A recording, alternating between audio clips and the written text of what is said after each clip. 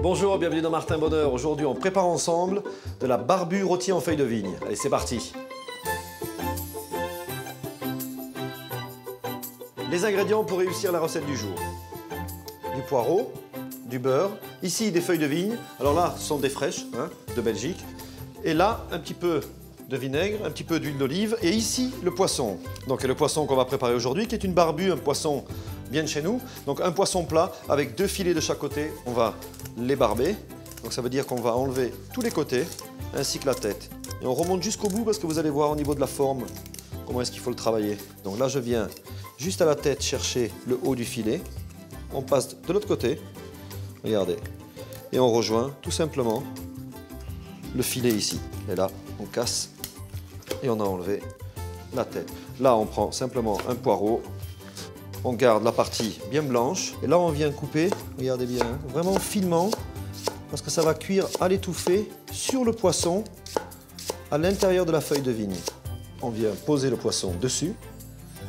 On vient mettre tout simplement nos poireaux sur le dessus. Un petit peu de sel, un petit peu de poivre. On va mettre maintenant les copeaux de beurre pour nourrir la cuisson. On reprend encore une feuille de vigne. De nouveau, on sectionne la tige et on l'enferme vraiment comme une papillote. Là, vous bloquez le tout avec un petit ustensile de cuisine. Vous prenez votre ficelle, on la met en double, hop, hop, et là c'est vraiment un paquet cadeau, hein. et on recommence une fois, deux fois et trois fois. Alors une belle quantité d'huile d'olive, pourquoi? Parce que la, feuille de vigne va donner son goût dans la matière grasse. On est maintenant à température, dans l'huile d'olive, on va plonger, regardez, on dépose le poisson et on entend que ça chauffe. On met le couvercle et on va laisser ça 10 minutes d'un côté, 10 minutes de l'autre, mais vraiment à feu doux. Hein. Donc on veut que la chaleur monte tout doucement et que l'huile s'imprègne un petit peu du goût du produit. On arrive à 20 minutes de cuisson. Vous voyez que les, feuilles sont quand même, hein, on peut pratiquement les manger. Hein. Alors on va sortir ça, le présenter directement sur l'assiette. Et on va simplement verser un petit peu de vinaigre, sel, poivre. Regardez ce qu'on fait.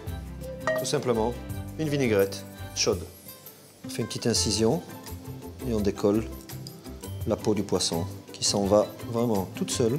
Et là, on vient verser sur les filets nettoyés la petite vinaigrette. Voilà, on va goûter ce beau morceau. Hmm. Ça, c'est l'accord parfait entre la saveur des feuilles de vigne et un poisson bien de chez nous. Bon appétit